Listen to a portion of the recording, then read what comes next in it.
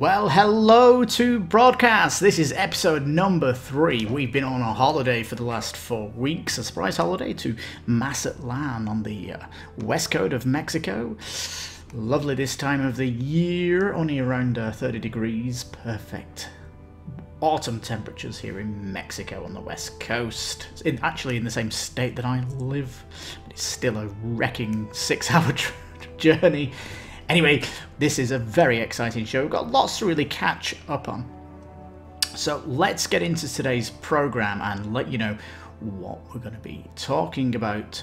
Um, but first, a big hello to uh, people that are on YouTube. Thank you for um, tuning in. And um, for those people that are listening on the podcast, if you listen to this on YouTube, you are gonna not gonna be able to listen to the music due to copyright. So if you want to appreciate the music, I would head over to the podcast which will be in the description of the YouTube um, um, video. Anyway, on today's show. Um, talking about three games we covered this week, three amazing games, all that I'm going to be backing here. Um, Resurgence, Weather Machine, and The Elder Scrolls V Skyrim, the adventure game. All three of them super special in their own way. Resurgence is like a gem that you really need to look at. Weather Machines, a good crunchy one by Viterra from the legendary designer from Portugal, Vital um, Lacerda. And the big surprise hit of the Elder Scrolls Skyrim. Wow, that blew me away with how that campaign has gone. Um, other than that, we are going to be talking also about the Arcane animation series that's on Netflix. If you've not seen that, look look forward to that part of the show where I will be expressing my thoughts on that, and also four films that I watched since I last did broadcast, which was Dune, the recent James Bond, uh, Finch, and Red Notice. All four films I highly recommend, and I'll let you know my thoughts on them when we get to the latter part of the show where we talk about movies, as it's going to be like a mixed format today. All right then. So before we talk about our first Kickstarter of the week, Resurgence, we are going to be playing a song this week. Um, it's going to be all about jazz songs, and I'm going to be covering two bands in particular: Pink Martini and Diana Krall, who are my two favourite lady singers of jazz. And um, you may not have heard of one or two of them, so hopefully you get a bit of musical education here today. But our first song, this is an absolute beauty, gives you that South American vibe, and it's called Never Stop Falling in Love with Pink Martini. So please, let's take it away.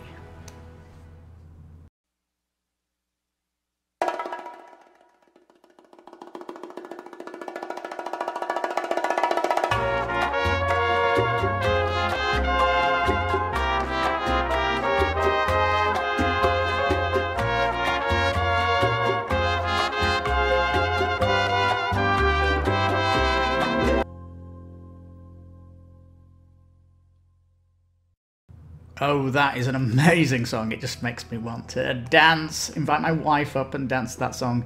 Amazing song. You might class it as a bit of soul, but I think it's a little bit jazzy for me with all the instruments, but spectacular song there from Pink Martini. Anyway, let's talk about our first Kickstarter, Resurgence. Oh my goodness me. Stan, Stan Kodlinski. Uh, this really modern designer now. He's become a legend in his own right, and he did an amazing design of a Kickstarter last year, one of my favorites, Endless Winter. And he's decided to go indie indie because Endless Winter is Fantasia Games. They've become like a, a, little independent games studio, but um, he's gone even smaller than an independent studio. He's got like a really small team, like five people, um, that are doing a resurgence. It's a engine building work placement game set in Moscow, Russia. Looks really, really cool.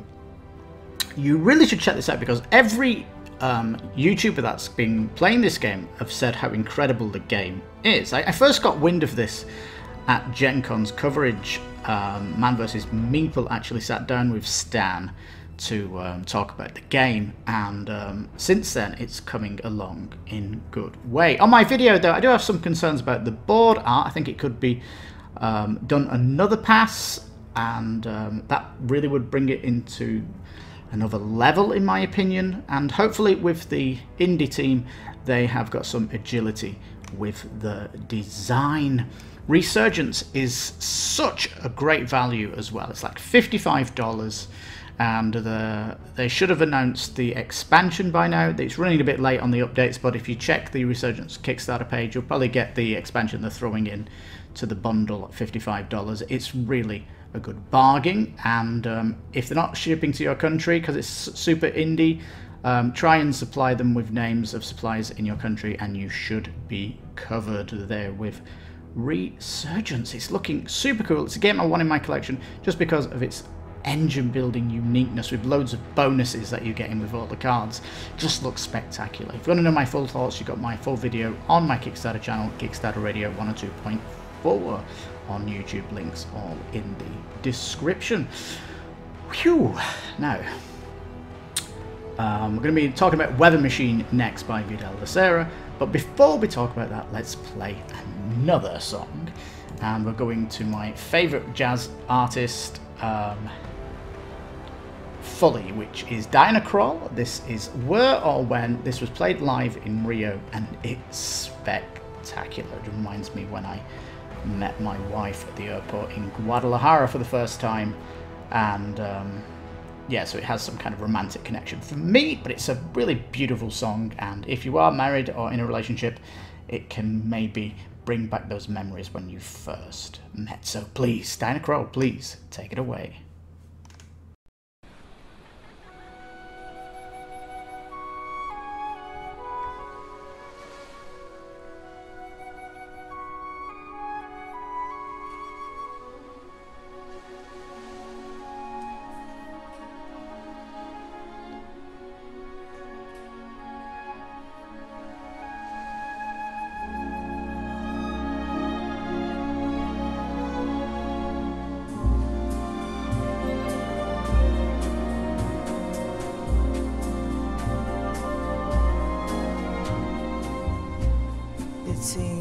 Stood and talked like this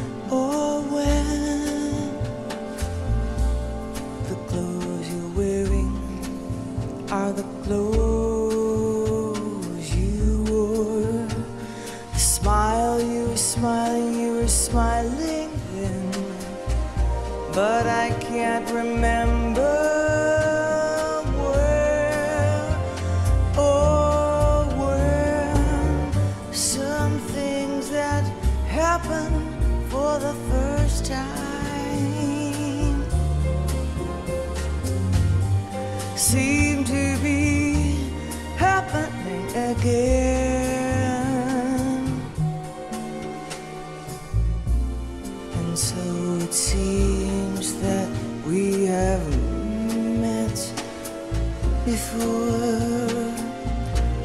And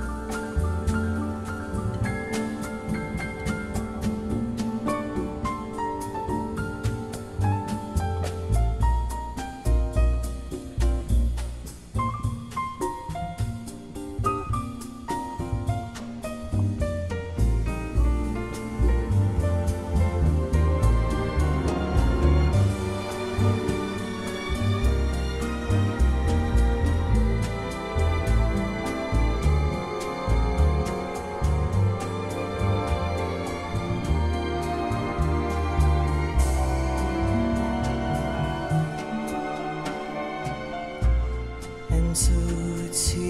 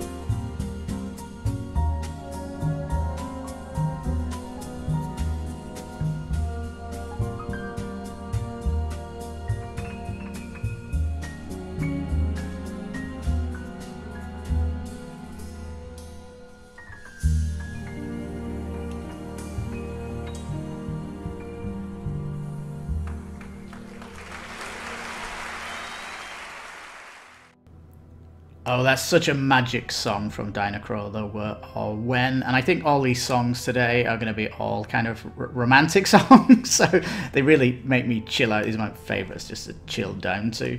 And as we are fast approaching Christmas, I can't wait for a December issue of broadcast where I can do some Christmas songs for you all. But um, hey, we've still got um, another week, haven't we, of broadcast next week. So we'll bring another eclectic collection of music. But um, yeah, I hope you're enjoying the music.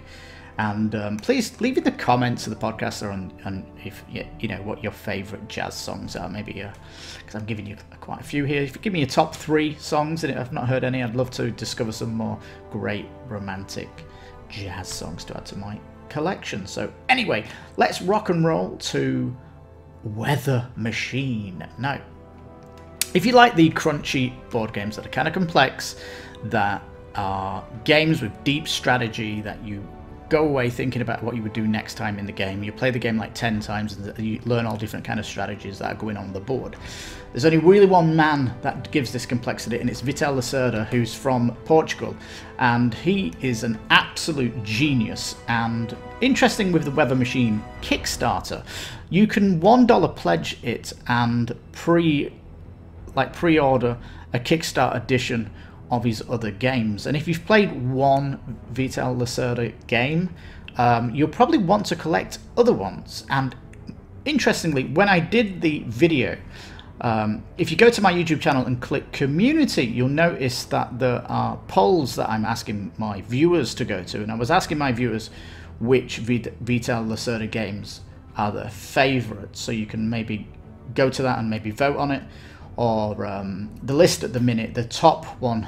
Um, let me just go to it actually to get the live count on that. Um, so yeah, his last big Kickstarter he did um, Kanban EV, which was the modernized version of the original Kanban.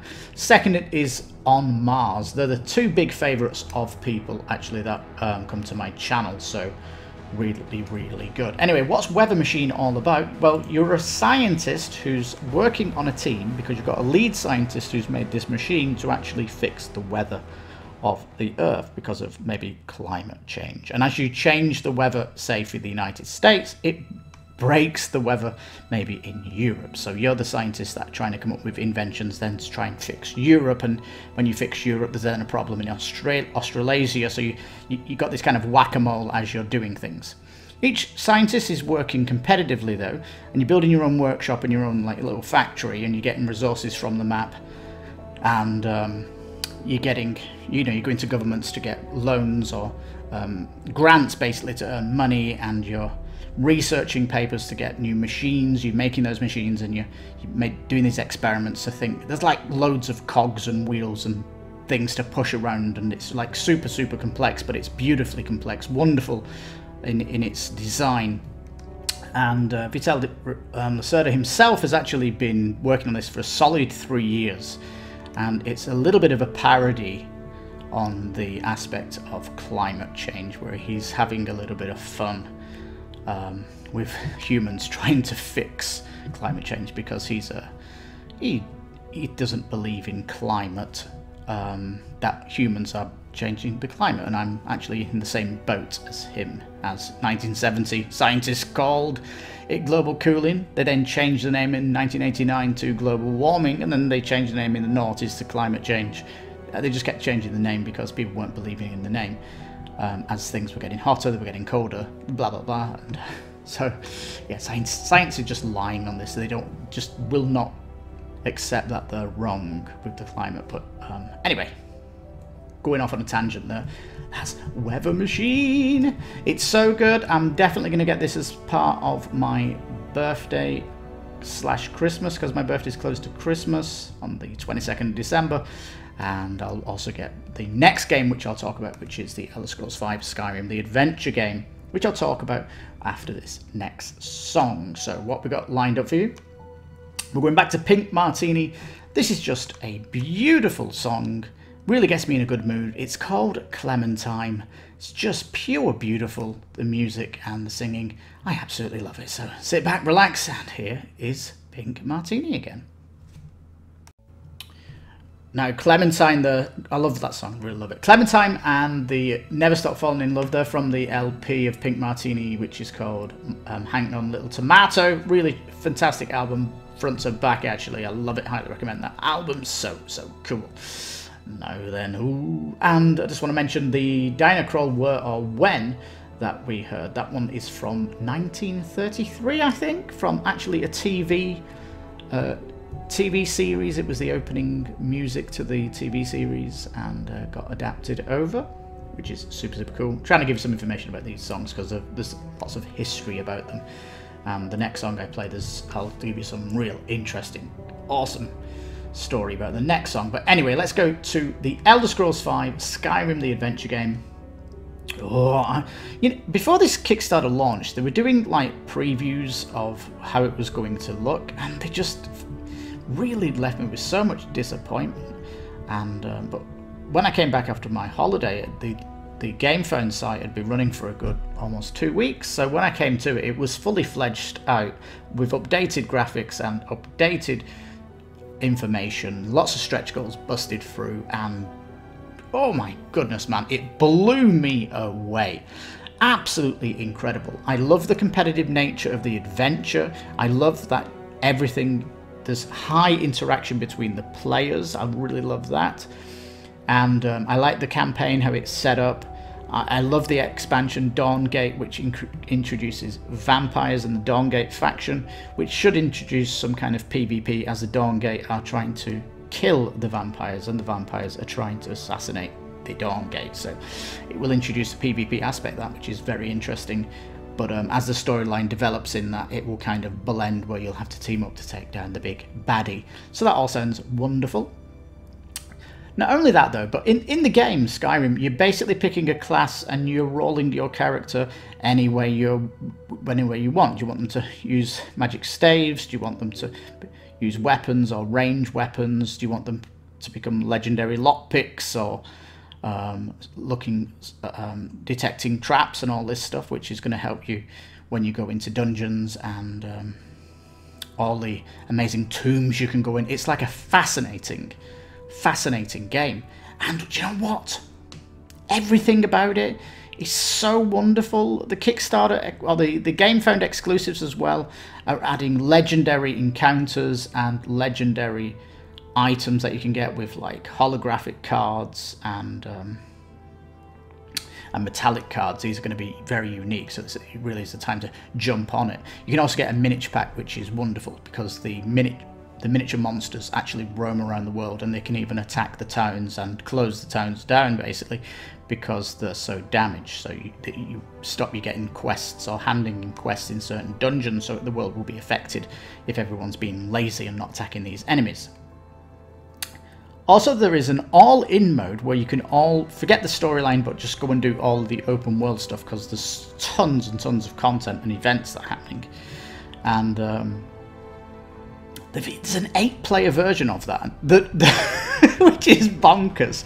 I think there's going to be a playthrough on the game fan page um, where they play eight-player on Tabletop Simulator. I really want to see how crazy that is and the time between um, turns on an 8 player because it, it, it, sounds like it's a headbanger, but um, does sound really fun. And I, I don't, I'm not going to be able to stop myself from getting the 8 player expansion. Um, if, if you're backing um, Elder Scrolls, I'm really interested what your thoughts are on the uh, on that, but um, it's super super curious. The, the one thing I, I, named the video actually the splash screen werewolves question mark because where are they? If you can turn you if you can turn yourself into a, a vampire, why can you not turn yourself into a werewolf? It's, it's part of the Skyrim experience, and I'm really hoping there's a surprise coming down the pipe on the GameFound page where they announce it. They are approaching one million dollars. Is it in pounds? One million pounds, which whatever it is. Um, so maybe it will be a reveal, but uh, they should be putting it in. They definitely should be putting it in. And um, the Dawnguard introduces a night and day cycle to the game as well. Love that aspect. Reminds me of Talisman. Um, when you bring in the, the werewolf also into Talisman. So, you know, oh, it's just so, so cool. I, I really, really love everything about it, and um, I'm, I've been so surprised. It's not me for six, and I'm all over it. And this is going to be probably the best gift I've bought myself for my birthday in maybe ten years. It, it really is. If I get Weather Machine and Elder Scrolls V Skyrim, the adventure game, what a name it is, but what a game! What a game! And because Skyrim is a video game. Um, You've got loads of official soundtracks that you can play when you're playing it, which will add to the theme. And um, on the long form video that I did, I actually put the um, the special edition. That there was 10 years anniversary of the game on the 11th of the 11 2021, and they did a special symph symphony orchestra to some of the songs. And um, if you watch my video, I'm playing all that from the live broadcast that happened um, just over a week ago. All right, so that's three amazing games. Uh, Resurgence, a amazing engine building worker placement, fantastic.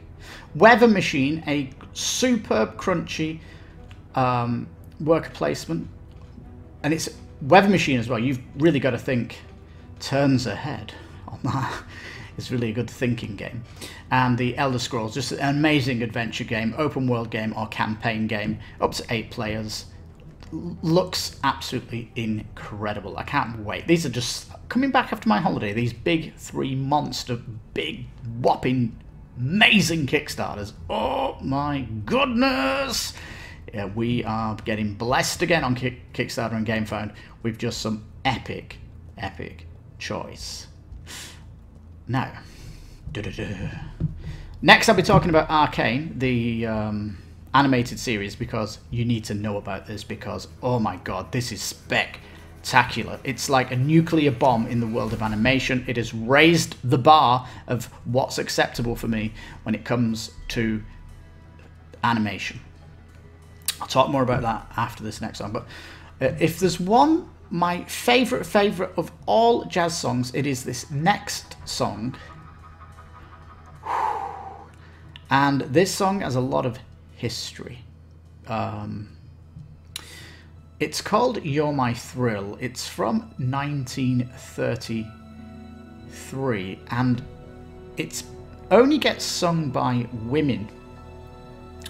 It gets sung and recorded almost every 10 years, a new artist picks it up. And there's been over maybe 25 artists that have covered this song. It's, it's, it's probably the song that's been covered more than any other song. It's that good. But the song is really about when you meet the person you fall in love with, and when you're not with them, you're just can't stop thinking about them, and it just absolutely takes over your day thinking about them. It just, I don't know, rocks your world, and all you think, think about is this other person. It's so, so good. There has been some modern versions of it, but in 2009, Diana Krall did a version of it, and she is simply the best version of all of them that I have heard, simply because she can get very, very low with her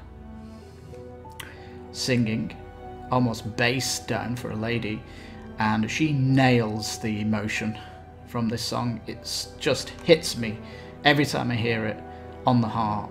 It's so touching, and wow, it, it's just so good. So I'm gonna shut up and play this from Diana Krall. It is um, this version again is from the live in Rio, um, and it's totally spectacular. So here we go prepare yourself for this wonderful, wonderful jazz song.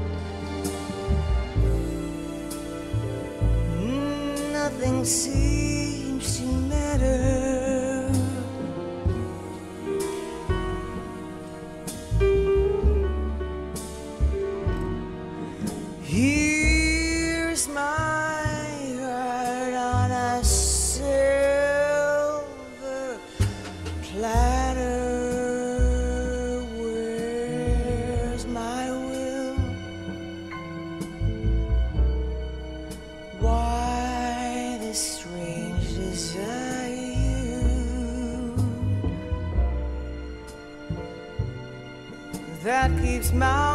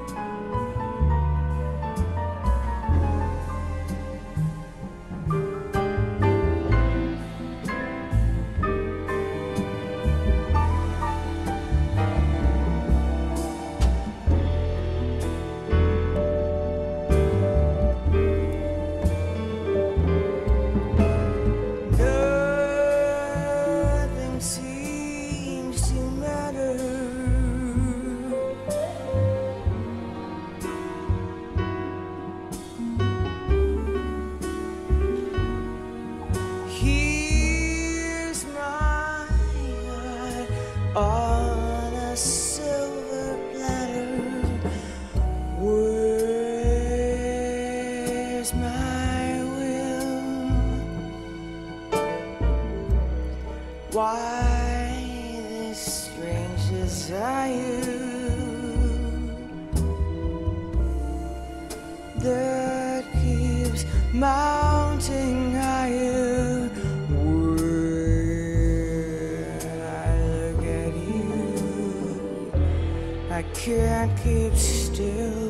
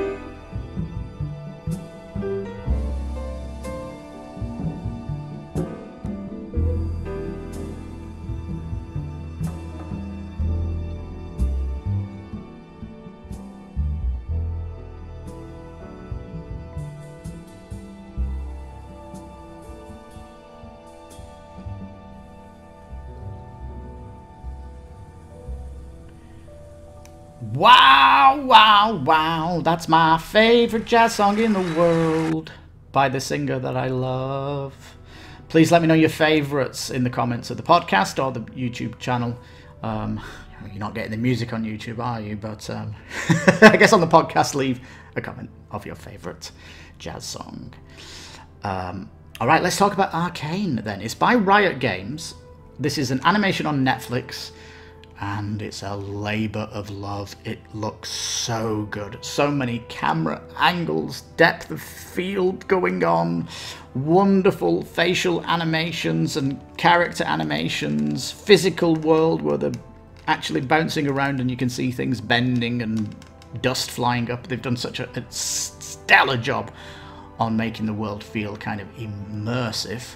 And um, it's spread into three acts. Each act is three episodes and then the timeline increases. So in the, in the first act all the characters will age into act 2 i believe they will also age into act 3 as it really is a pre-story of the League of Legends.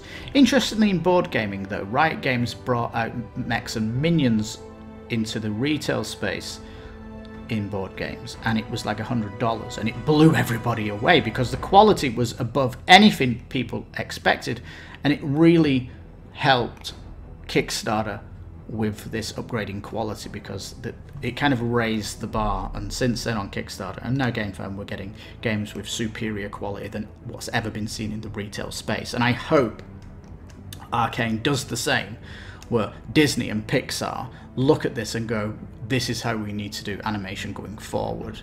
And, and really with all this Marvel drill. it's like there's so much Marvel boring stuff because kind of repeating uh, Marvel heroes. They're doing the same cliched things that the hero does. It's so refreshing to see Arcane with all these a vast array of characters, all fascinating, wonderful, and um, it is really, really good. Now, I'm recording this on before Act 3 comes out this weekend, so if you're watching this on are listening to this on the Sunday, you should be able to get Act 3 also. Um, it, it's so good. I um, I was glued to it. I, I, I, binge watched 1 to 6 and I can't wait to see Act 3. It should be out um, soon for me to watch it and um, I can't recommend it enough. It's just fantastic. The best animated thing I've ever, ever seen and to say put, put it up there just shows you how, how outstanding it really is and I think you deserve yourself to watch it. I think the first episode is almost the pilot. I, I think you've got to at least watch episode 2 to really get to see how the animation will go further on because the first one is a bit you can see the experimental nature of the first one when it comes to the second one it kind of gets more impressive and as you go through it the world building and the story gets deeper th more threads are happening, surprises, plots thickening, and all surprises are happening, and it's just really, really entertaining piece of magic from Riot Games. Hints of a second season of it, and I'm totally up for that. And if it goes to the cinema, I'm totally going to that because I'm hooked. I'm hooked on Arcane. It's such fantastic stuff. I really, really love it. Cannot recommend it highly. High, high, high standards. Wow, wow, wow. All right, peeps. Um, I'm going to come back for one last segment. I'm going to be talking about the movies I watched, which was Dune, the new James Bond, Finch, and Red Notice. They're all worth watching, but I'm going to try and give you my thoughts in 60 seconds for each one of them, just to tell you which one of those I uh, think you, you know, well, we just gave you my thoughts on them because they're all worth watching. All right, what have we got next then? Well, I'm going back to Pink Martini. And um, this is an interesting one indeed. The song, Lily.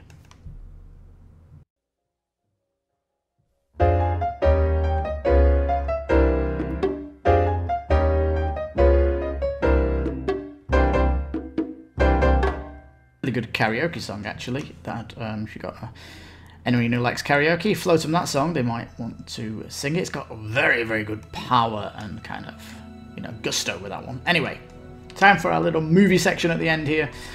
And um, Dune, we'll talk about Dune first. Wow. Um, I have read the book, actually. I played, I bought the computer game back in the 90s and it came with a free book of Dune, so I actually picked the copy up for free. Was blown away by the uh, sci-fi nature of it. Actually took my friend to the cinema who's a massive Star Wars mega fan, didn't know anything about Dune, and it blew him away. The spaceship design, the world building, the slow pace, everything's fantastic. I really was sat back in the cinema seat like I've not sat back before, just taking in this amazing scene because it was a labour of love from the director. It's just blew me away. Can't wait for the sequel. There's actually going to be part of a trilogy as well, so it's very, very exciting franchise.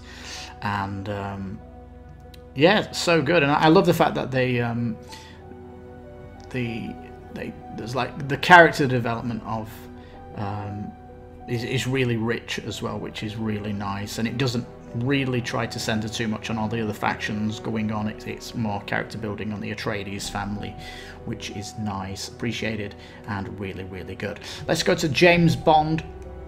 Um, I did enjoy the movie. I'm glad it's Daniel Craig's final movie. I'm kind of um, want to see a new James Bond now in a in this new generation, and um, I think it was a fitting end to his service as um, 007. And um, yeah, it was an interesting story. Didn't really like the baddie at the end too much. It was a little bit of, I don't know, it was not my. As when it comes to Bond villains, he's like one of the worst ones for me. But um, overall, I did kind of enjoy it, and the ending was um, Interestingly, even today, no spoilers of what happens at the end of the film, but it's definitely worth a watch, James Bond. Let's go on to Finch now. This is a Tom Hanks movie that should have gone to the cinema, but because of COVID happened and Apple TV got the rights of it, so you're going to need Apple TV to watch it unless you go on the torrent sites and download the thing, as it's rampant. All these movies are rampant on torrents, aren't they? Finch, it's wonderful. Tom Hanks in a post-apocalyptic film with him and his dog and um, creates a robot to look after his dog in the case of him dying. It is beautiful. Love the world building. Love Tom Hanks's character. Lo and I don't agree it's Tom Hanks playing Tom Hanks at all. I think Tom Hanks is playing a guy who is like an engineer who's lonely, loves his dog. You know, he's just because he sounds like Tom Hanks. I hate those comments about Tom Hanks just playing himself in all these movies. I thought in Finch was fantastic. The robot design of the robot he makes, though, is really, really cool. I love the relationship with the robot and him because it's like an advanced AI. And um, it turns into like a little bit of a road trip and it has lots of little surprises. It's genuinely funny, got me laughing, and I highly recommend Finch. I think Dune and Finch have gone into my top 10 of the year. They're that good. Finch really had an impact on me. Post-apocalypse is my favourite genre per se, I want to say, in video games and board games. And there's not that many in the movie world, and I really appreciate the space that Finch is in because um, I love robots as well. Hey. Um, Red Notice. Um, this is on Netflix now really, really good. It's The Rock, Dwayne Johnson, Gal Gadot, and Ryan John Ryan. Some I always forget that guy's name. That guy, the comedian guy. uh, really, really good film. I actually thought it was good fun. I like The Rock, who's like the muscle guy, and um, Ryan Reynolds. Is that his name? He's like a really good stealth guy. I love Gal Gadot in here as well. I, I love the Interpol lady as well. I can't remember her name. She's like an upcoming British actress. I think she's great though in everything I see. like see her start as a, um, a in her own thing, but that's to be seen. But um, yeah, I think it's really good and it could start a new franchise and I'd definitely be looking forward if there was a Red Notice too. Definitely a blast to watch that. I think it's going to creep into my number 11 spot of the best films of the year because it was just really, really exciting and a good relationship with Ryan Reynolds and The Rock.